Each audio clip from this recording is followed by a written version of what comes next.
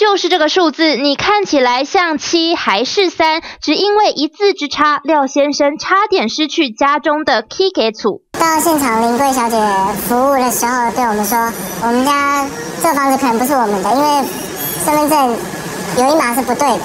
我们每一年缴的房屋税、土地税，难道是缴心酸的吗？啊！民国六十九年，廖先生的爸爸买下树林火车站附近的一块地，自己盖了一栋四楼的透天厝。最近正好听到一些都更消息，想说先把房屋权状准备出来，却找不到要去补办，备齐所有的资料到地政事务所办理时，工作人员却说身份证字号不正确，这房子可能不是他们的，让廖先生好傻眼，住了四十几年。怎么可能？这个明明就是房屋税啊！哈哈哈，他地址就是这里啊。对这么错啊？这房子对，哎，我们讲了几十年，你跟我说这个房子可能我们不是持有人啊？因为当时户籍成本都是手抄的，填写的公务人员将廖先生爸爸的身份证其中一码七写成了三，导致后来系统里根本查不到。还好所有房屋地价税的缴费单全都有留下来，否则现在这价值 三千三百万的房子差点都没了。